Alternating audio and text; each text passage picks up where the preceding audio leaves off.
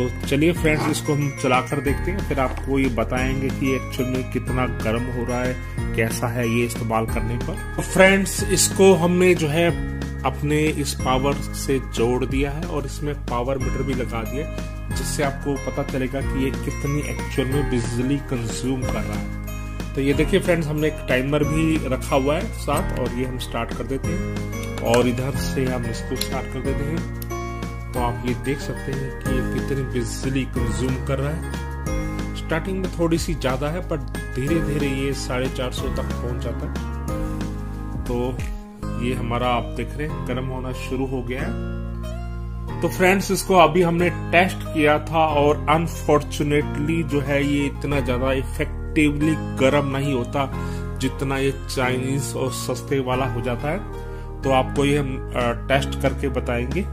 तो हमें ज़्यादा कुछ मज़ा